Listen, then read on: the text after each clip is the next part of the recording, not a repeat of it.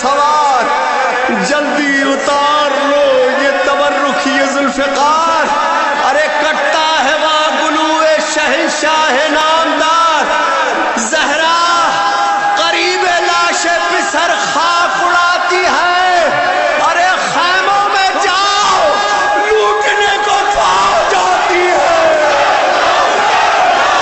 محرم الحرام کے آغاز کے ساتھ گجرات میں مجالس ازا اور ماتمی جلوسوں کا سلسلہ شروع ہو گیا۔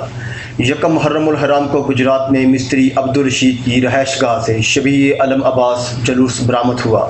جلوس اپنے مقررہ راستوں شہدولہ گیٹ، مسلم بازار، مقبرہ پانڈی شاہ سراف بازار، کھاری کھوئی تمبل چوک نواب چوک سے ہوتا ہوا واپس رہائش گاہ پر اختتام پذیر ہوا۔ جلوس میں عزاداران ماتمداری نوحہ خوانی کرتے رہے۔ جلوس کے ہمراہ پنجاب پولیس ایلیٹ فورس کے اہلکار موجود تھے۔ جلوس کی نگرانی A D C G Malik Ghazanfar Awan A C Gujrat Afzal Tarar, chief officer Afzal Butt, صدر انجمن تاجران جوید بٹ، ملک جوید اختر اوان خان شبیر خان، خادم علی خان کے علاوہ تھانہ اے ڈویژن تھانہ بی ڈویژن تھانہ سیولم کے ایس ایچ اوز اور ملازمین ٹی ایم اے عملہ بھی جلوس میں موجود تھے۔ جلوس کے انتظامات کی نگرانی پروفیسر سرفراز جعفری، سید الطاف کاظمی سید نوازش کاظمی سید نثار شاہ سمیت دیگر ممبران نے کی۔